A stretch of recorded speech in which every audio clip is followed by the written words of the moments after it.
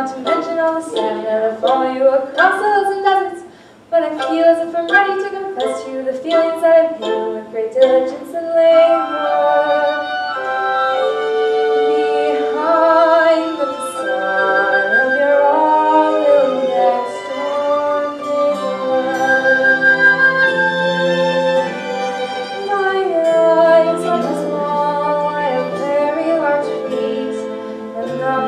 proud of